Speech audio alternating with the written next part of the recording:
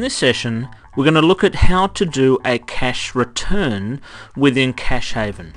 Okay, so let me launch CashHaven here. And if we're launching it uh, from within Cash, the CashHaven application itself, uh, it doesn't ask you to verify yourself because you've done that in the login. But if you're coming in from OfficeHaven, then you will need to verify yourself, and you'll need to be a group manager uh, to to be able to uh, run CashHaven. Okay, to at least mail, make sales for others. So let me enter in the password. There we go, we're now logged in. And we have a number of different users uh, under the list here within our group that, uh, that I can make sales for. Now say for example uh, a person like uh, Jonathan Bell comes along and he wants to uh, to make a sale. As soon as I choose his uh, name under the list, you'll see that it's his, you can see his balance, so he's got some money available to him. If I come and have a look, on, click on the button for transactions, we'll see any previous transactions here. And as you can see, there are no transactions currently. He hasn't bought anything uh, cashlessly um, uh, through through CashHaven. When I click back on uh, register you'll notice that the window shrinks back to its previous size. Now there's no reason why you can't type anything you want into the description and into the number field uh, for the sale but within the uh, group settings within uh, window database you're actually able to add different products as uh, as transactions the way that they're displayed in the transaction is it's got a description and then a price at the end in square brackets. So if I come down here and choose something like a memory stick for $13, you'll notice that it goes and puts the description up the top here and the amount, which in this case is $13, uh, down into the value down here. Now again, there's no reason why we can't change those, just in case they're on discount or something like that. Uh, you can change that value if you want. If you go and click on clear, it'll just get rid of the leftmost value. If we click on clear all, it'll wipe the whole value.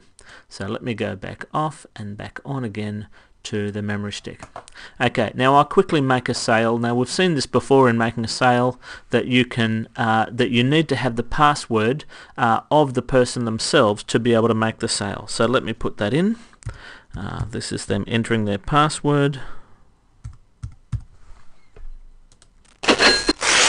And now if we click on transactions, you can see the uh, down here, it's the sale by one user to the another user ID, which is uh, the Jonathan Bell.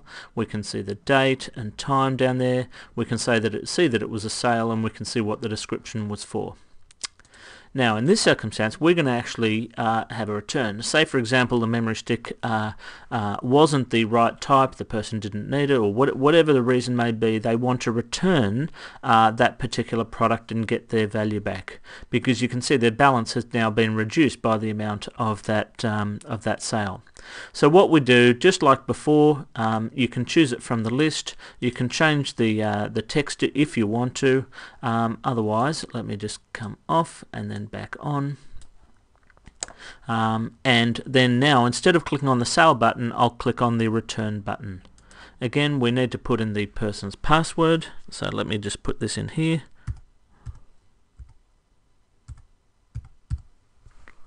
and go OK. And what it's done is it's given now their, their balance back to what it was previously.